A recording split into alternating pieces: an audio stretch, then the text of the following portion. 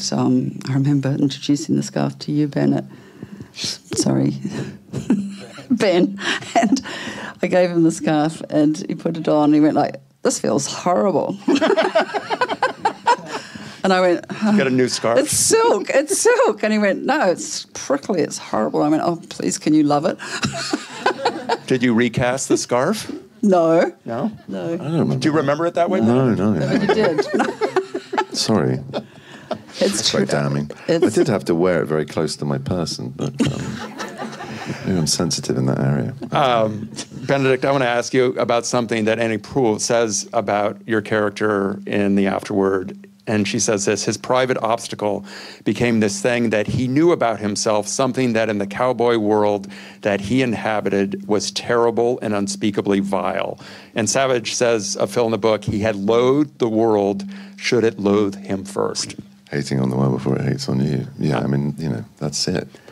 The, the, the, the, sort of vulnerability that creates that horrible tension in a human, which twists them into a pretzel of hate and distrust and fear. And yeah, he's a man who's got incredible control. He is a savage bitch, but at the same time, it's driven by something um, deeply traumatized. I mean, something that's been, he's cut adrift very early in his life from the capacity to love or be loved.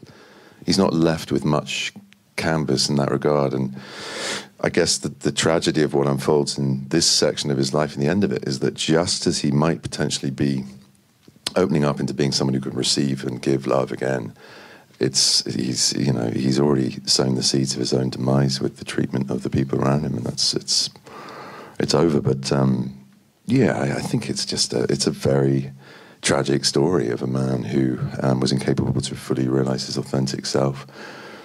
Um, yeah, I think I think his masculinity is often talked about as being a performative. I don't think it is. I think that is who he is. Right. I think Bronco was like that, but he was. They were both men who loved each other. But um, yeah, I don't think the behavioural pattern there is to disguise what's underneath. He he sees Peter's featness as an affront to his masculinity, and of course, it's a deeper tremor of like this person is sort of a manifestation of the thing I've tried to suppress um, not in behavior, but in my actual yearning and my actual being of what I'm attracted to and want to be with. And uh, I think, you know, this happened when he was 19 and right. it's 20, over 20 years later. There's a lot of it that's unresolved. He, he connects with it in a very sensual and real way with the uncomfortable scarf uh, previously mentioned.